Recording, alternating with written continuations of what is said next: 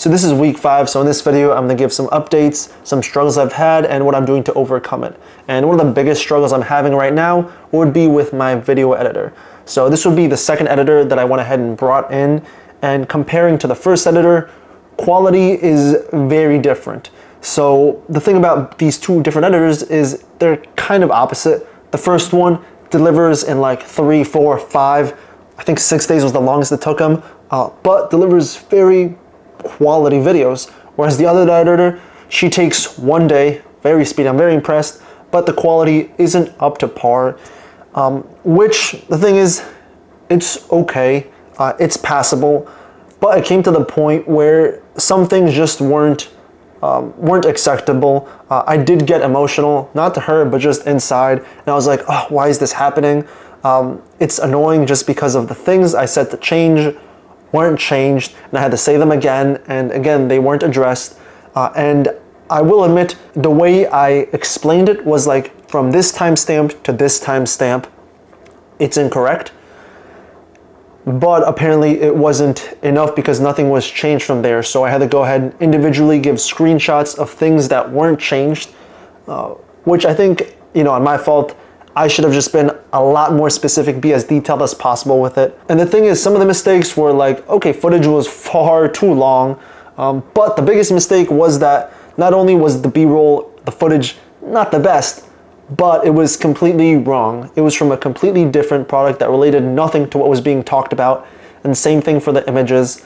And that, you know, was upsetting because, you know, to me, it would have been something obvious that like, hey, it's to go ahead and be this link um, that was sent. Everything is there correctly. So I don't know how she would have messed up. And so basically my solution for that was, all right, let me go ahead and find a new video editor.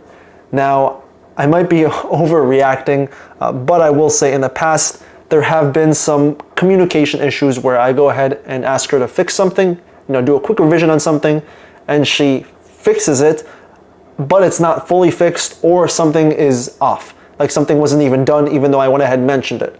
So that was like a first red flag. But the reason why I wasn't searching out for another editor is because her quantity is up there. That's mostly because it's not just her working, but she's also working with her brother just to go ahead and produce even quicker. Now, as far as trying to find a new editor, I went ahead and put a job on Upwork. I currently have two different editors that are completing a test project, and out of those two, I'm gonna go ahead and see which is better and then choose them to be part of the team. And after kind of simmering down and kind of thinking for a few days, uh, I went ahead and gave her another task to go ahead and do just to give another chance, but this time be even more specific on what's asked of her and making sure the video editing style is the same style as the first editor. So I went ahead and created SOPs before. I even went ahead and gave like an example video of what the first editor did and also went ahead and detailed out certain parts that should always be consistent throughout, which includes like transitions uh, and the way text is put out. So in the end, I'm still gonna go ahead and work with her, but what I'm gonna do is just give less quantity until she goes ahead and builds up consistent quality of what I'm looking for, and then go ahead and push up quantity again. So that means I'm gonna have a total of three editors working on the team, and this next editor that I'm gonna hire is basically gonna be like a backup editor that's not gonna get, you know, work a lot of times during the week, maybe like once a week, just to go ahead and make sure, you know, I'm always on track to post once a day. So in the end, during these past five days, because of this whole fiasco, there are only two videos posted, which although disappointing, it had to be done. In the end, I have to go ahead and slow down to speed up, which is something I learned back in car sales. So one thing that was also changed during this week would be communication, because oftentimes communication is kind of hard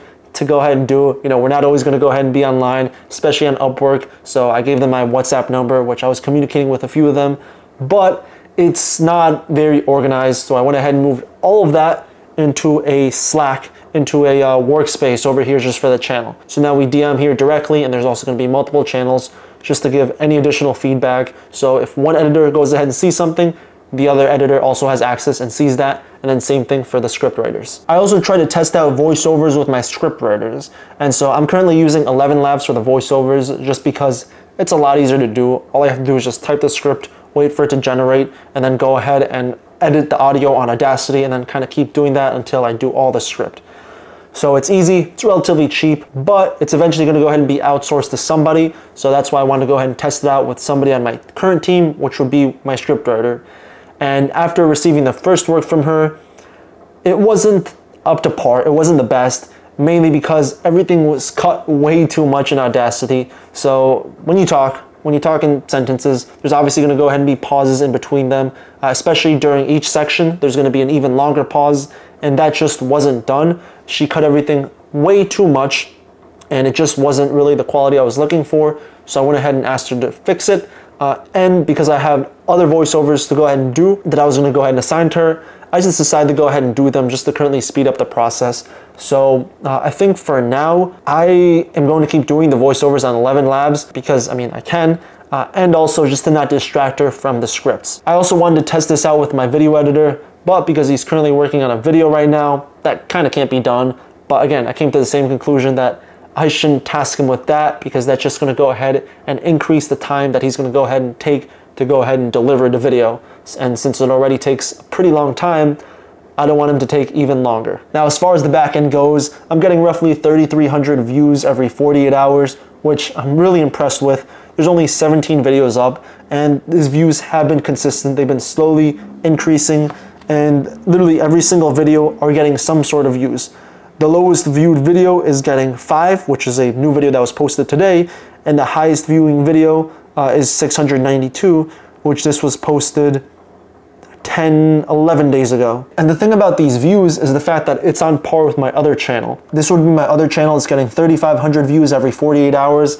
And this is gonna be the face channel where I go ahead and just review a bunch of different products that I put on my Amazon storefront, but I just go ahead and re-upload it to um, this YouTube channel.